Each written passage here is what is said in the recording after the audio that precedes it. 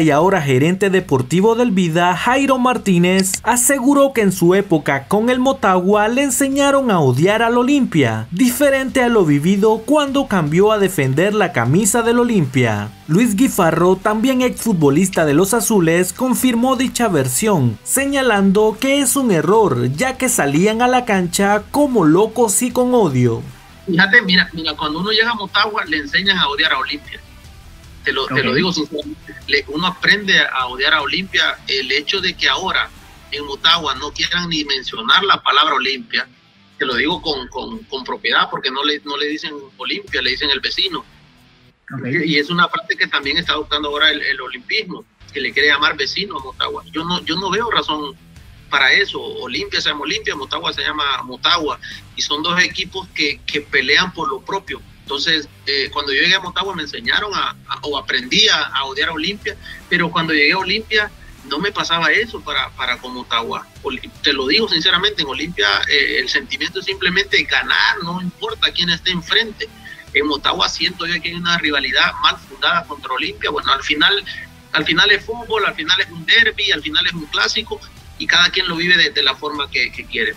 Yo te lo digo ahora sinceramente, yo tenía un mal concepto del fútbol ahora ya más, más viejo, pues yo pienso diferente. Yo, yo digo, no hay razón para pelearse por equipos de fútbol. No hay razón, es que me pongan la, explicación que me quieran poner. No hay razón para, para hacerse enemigos o perder amigos por, por el fútbol. Entonces, eh, al final uno trata de, o tiene que ser profesional. En este caso me tocó a mí y yo fui profesional hasta, hasta el último momento. Imagínate que ahora estoy en vida y si en algún momento yo me hubiera puesto a hablar o a decir peste del vida, ¿con qué cara podía estar yo acá?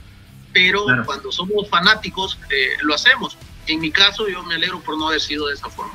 Otro que al parecer también tiene una espinita con el Motagua y además Olimpia es el delantero Georgie Welcome, actual jugador del Juticalpa FC, que desea regresar a Liga Nacional únicamente para meterle goles al Olimpia y al Motagua.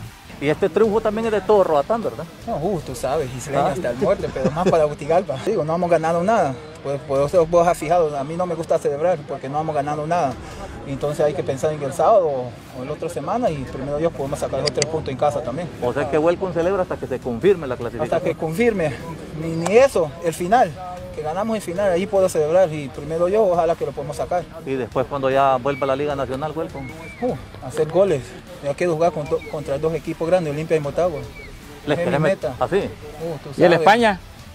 Tengo más contra Olimpia y Motagua. ¿Le querés meter goles? Me gusta jugar contra esos dos equipos. ¿Le querés meter goles a Olimpia y Motagua? Goles lo voy a meter, eso está claro. ¿No lo vas a perdonar? ¿Perdonar qué, hermano? En el fútbol no perdona a nadie. Entonces, como siempre, tengo eso. Si, si fuimos en primera, quiero jugar contra esos dos equipos. Ahí donde, ahí donde miran los, los jugadores grandes. Pucha, pero ¿por qué contra la España dijiste que no? No, España mi respeto también. Los otros equipos son del capital, seis años ahí. España mi respeto también, pero me gusta jugar con los dos grandes. La Liga Nacional de Honduras, en conjunto con su nuevo patrocinador, justo en las instancias finales del torneo Apertura del 2021, realizaron la presentación oficial de la nueva copa que será entregada al equipo campeón. Esta copa fue elaborada en Italia, tiene un acabado de plata galvanizado, de argento y dorado de 24 quilates, cuerpo metálico y base de madera fina, con una altura de 76 centímetros y un diámetro de 29 centímetros, con un peso aproximado de 23, 23 libras. La Copa de Todos está lista para ser revelada. Están eh, nuestros invitados especiales quienes hoy han tenido el privilegio de escoltar la copa ante todos ustedes. En primera instancia, a Shirley Pereyó, árbitra internacional FIFA. Un fuerte aplauso, por favor. Y no menos importante, a Samuel Irías, atleta de natación de Olimpiadas Especiales. Dos, uno.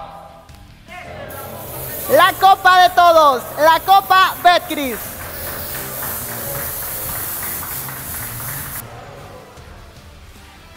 Está linda. No podemos obviar que está hermosa, ¿cierto, Shirley?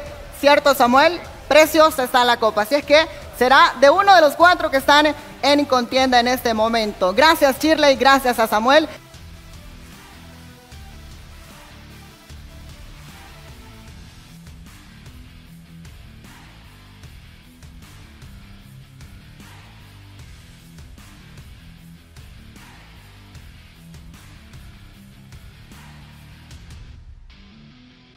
Amigos, muchas gracias por ver nuestros videos. Recuerden suscribirse a este canal si aún no lo han hecho, darle like y dejarnos en un comentario su opinión sobre los temas mencionados en este video.